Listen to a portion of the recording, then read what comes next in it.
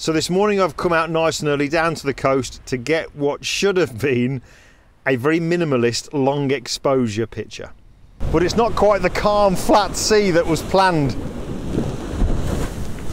Ugh. So instead of that, I want to show you how you can import and use lookup tables or LUTs in Lightroom.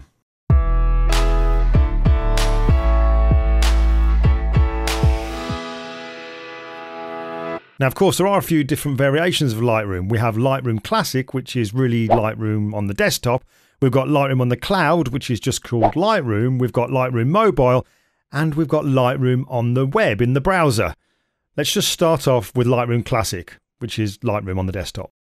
Now, to jump forward just for a moment, when we actually do have lookup tables installed in Lightroom, the place that we access them is in the Develop module, then the Basics tab, and in the top right hand corner, we have the Profile Browser. When I click on that, here are a number of folders. These ones at the moment contain the default profiles installed in Lightroom, but this is where our lookup tables would be listed. Obviously, we can't see them at the moment, so we need to install them. And it might sound crazy, but the way that we do that is by using Camera Raw. So I'm now in Photoshop. I'm going to go to the filter menu and choose Camera Raw Filter. Now, it's worth noting that you don't actually need to use Photoshop to get into Camera Raw. You could also, for example, maybe be in Adobe Bridge. I've got a JPEG image here, and if I right click on it, I have the option to open in Camera Raw. That will get me into the same place. It doesn't really matter how you do it, so long as you get into Camera Raw. Now, over on the right hand side, we can see that it looks pretty similar to uh, Lightroom. Here we have our profile browser. The difference now, though, is that we have this ellipsis, these three dots. When I click on that, we have a few options available to us, and one of them says Create Preset. Now, if I just go straight ahead and click on that, that will open up the Create Preset dialog, and you can see there's no mention whatsoever of lookup tables in there. So let's just cancel that. What I actually need to do is come back to the ellipsis here, where we have the Create Preset. When I click on that, I also need to be holding down a key on my keyboard. Now, on Mac, that's the Option key. On Windows, it's the Alt key. So I'll hold that key down, then I'll click on Create Preset. And when I do that, it opens up the dialog. But what you'll notice is at the top now, it says Create a Profile.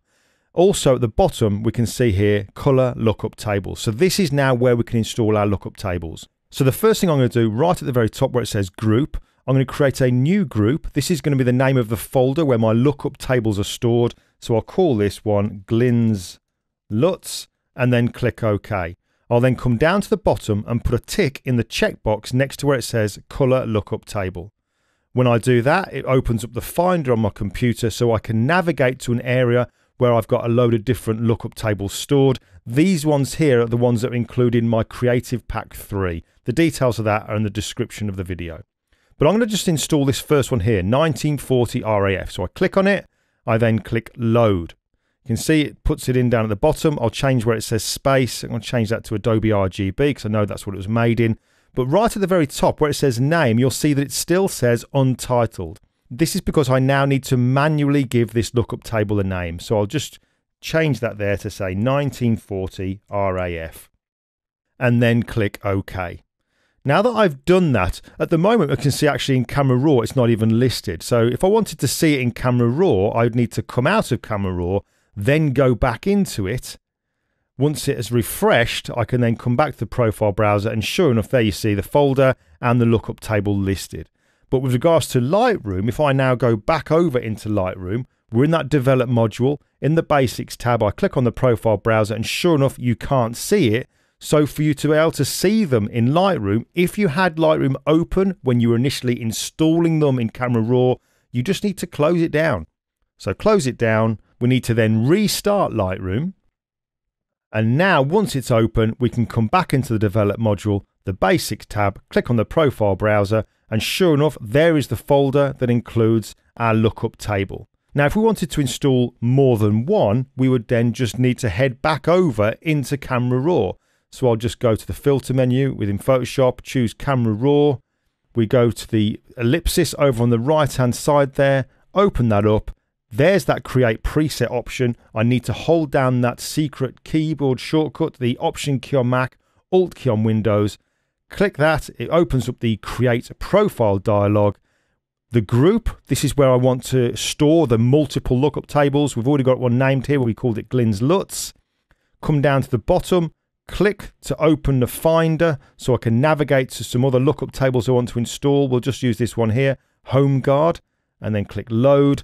I'll change that space there to Adobe RGB and then manually change the name right at the top to say Home Guard and then click OK.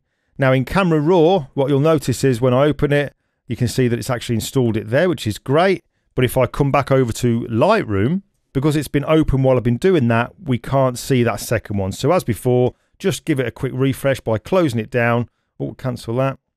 And then we'll open up uh, Lightroom again. Once we open it, it then refreshes so that when we dive into that profile browser, we'll then be able to see the folder containing both of those lookup tables. So that is how you can install them into the Lightroom Classic or the Lightroom Desktop. Now, you might be somebody who uses Lightroom on the cloud, which is just called Lightroom. Now, here's how you can install lookup tables into that, because if you've installed them into Camera Raw and Lightroom Classic, it doesn't automatically put them into Lightroom, Lightroom on the cloud. Now, this is really, really simple. I've got Lightroom open or Lightroom Cloud open, and over on the right hand side, let's just go to the Develop module.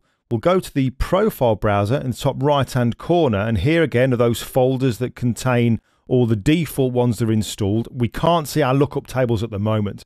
All I need to do though is come to the very top right hand corner. We've got an ellipsis here, three dots. Click on that and at the very bottom it says import profiles. Now when I click on that, I then need to navigate to a certain folder on my computer. Now this will vary if you're on Mac or on Windows. The actual folder, the, the way you get to it, I'm going to put in the description part of this video. But here on my Mac, you can see that I'll go to the library folder, then I'll go to application support, then Adobe, and then we'll scroll down to Camera Raw, and then we have the settings folder. Double click on the settings folder, and here we can see our two lookup tables that we imported. Uh, 1940s RAF Home Guard. Now I can just click on one and import, or I can shift click on as many as I want and then click on import. And when I do that, what's great is because this is cloud based, I don't need to close Lightroom down and restart it. It automatically installs them for me there. So there now is the folder containing the LUTs. And you can see here they are just listed like so. And I can actually change the view to, let's go for uh, grid.